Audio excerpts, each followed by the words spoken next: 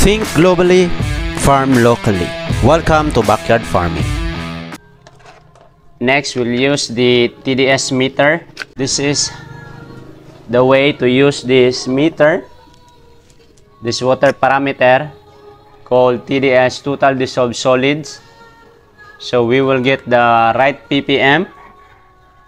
So for lettuce, at least you are in the range of 700 to 800 ppm uh, for the lettuce to really absorb the nutrients and to really grow big.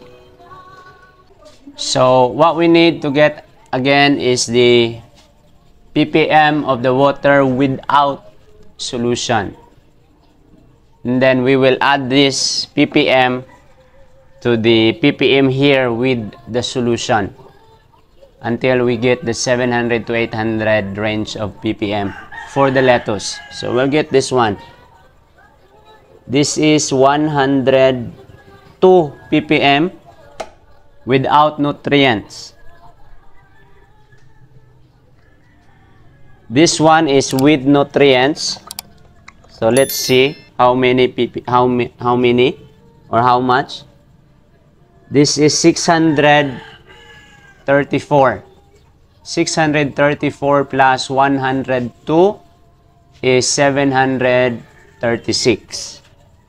So that's it. We are in the right range from 700 to 800. That's how you get the right ppm using this TDS total dissolved solids or the ppm is parts per million so so that the lettuce will really absorb all these nutrients from our uh, mixing okay? And the next one we need to get is the pH. The purpose of pH is to get how much or how acidic the water and how alkaline or the alkalinity of the water. So I will show you the picture of this uh, principle. This side here is very acidic and this side here is, is alkaline, more on alkalinity. The right uh, acidity for the lettuce is 5.5 to to 6.5 okay 5.5 actually 5.5 to 6.5 that is the the the the amount of acidity that the lettuce need to absorb the so that the plant could absorb the nutrients so for me we need to get the at least somewhere in 6.0 in the middle so that at times goes by when it going down or it goes up you have an allowance so at our goal is 6.0 a level of acidity. So the pH level is 6.93, 92. So too high for me. So I need to use the pH down. So this is the purpose of pH down. until you reach the desired pH of 6.0 or near to 6.0. I hope you are following me backyard because this here is very crucial in the full strength level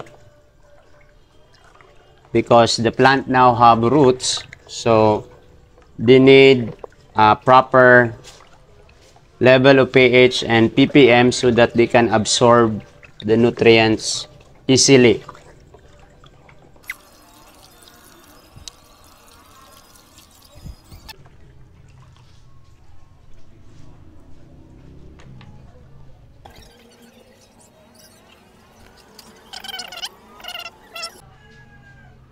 Zero zero six point zero. So I'm done with this.